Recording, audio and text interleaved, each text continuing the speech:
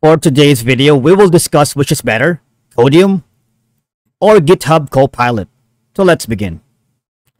Now, basically Codeium is an AI coding assistant designed to boost developers' productivity by providing code generation and navigation tools because it features and focuses on autocomplete and search, streamlining their coding process and simplifying complex tasks, allowing programmers to code much more efficiently.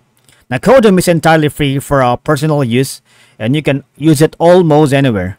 Besides that, they have their own in-house models and infrastructure, so it's not just an API wrapper, but more of a powerful technology. Alright?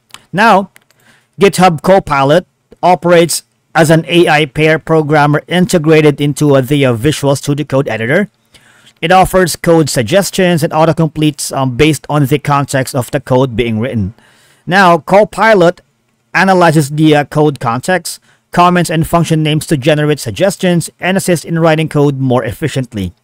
It learns from publicly available code to provide suggestion and it aims to speed up coding workflows, providing code snippets and suggest interlines or blocks of code based on the code you are actively writing. Now, in comparison, there are a lot of factors to consider, which includes um, the AI capabilities for both. And the specific AI models and capabilities may might uh, vary.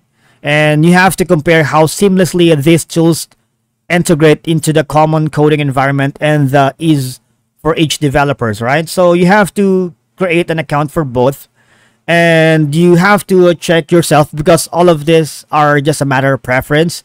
You have to evaluate the quality and accuracy of code suggestions provided by each tool. All right. And of course, you have to check some developer uh, reviews, available documentation, and specific about its functionalities would provide a better understanding of its capabilities comparing GitHub, Copilot, and Codeium. And that's it for today's video. Thank you so much for watching, guys. We will see you all in the next one.